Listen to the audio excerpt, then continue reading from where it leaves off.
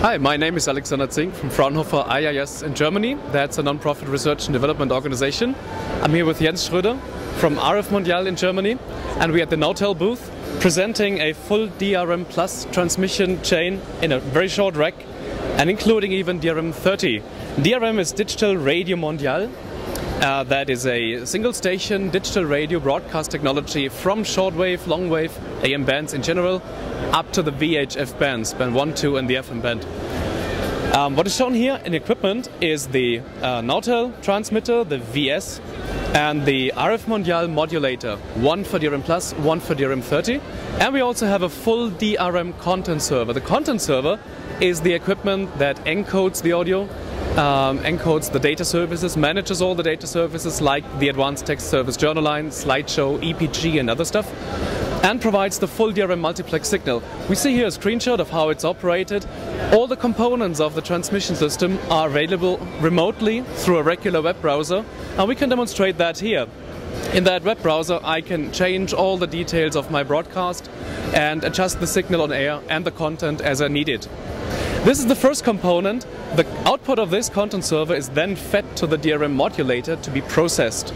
And I'll hand over to Jens to describe more on that. Yeah. Well, the DRM Plus modulator basically takes the MDI stream, which has all the audio and multimedia and channel information, and takes it on uh, and modulates it in an OFDM way such that it can be uh, digitally uh, handed over to the transmitter.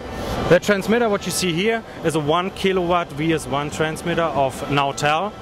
They have a, automatic digital pre-correction in there, so they puts out probably up to 400 uh, watts of digital power with DRM Plus. So we are live here on the air, and uh, the uh, signal is received via the measurement receiver of RF Mondial, which we can show here remotely at the screen, so it can be used for measurement trials all around the world. What a broadcaster additionally needs is a monitoring of their uh, transmitting site. So you need to monitor the transmitter itself. But in addition, of course, you want to know if your signal has been received in your uh, coverage area. So you can then use this monitoring signal to really analyze if your signal has been received in the various coverage area. Finally, what you, as a broadcaster you would need is an archiving system such that you can prove what has been transmitted actually and uh, RF Mondial offers uh, such an uh, archiving system for your DRM solution. So, thanks a lot. We have the full transmission chain here in one block. That's not a requirement.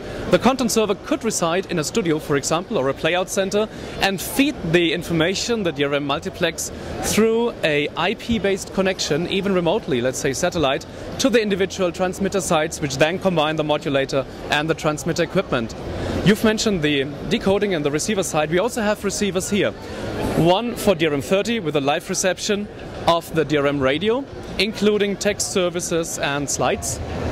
We also have a software-based radio for DRM Plus, which we can show here, where people can enjoy both the audio, see the slides and information that is included, and also can play with the and, and uh, enjoy the text information that's included in the radio signal.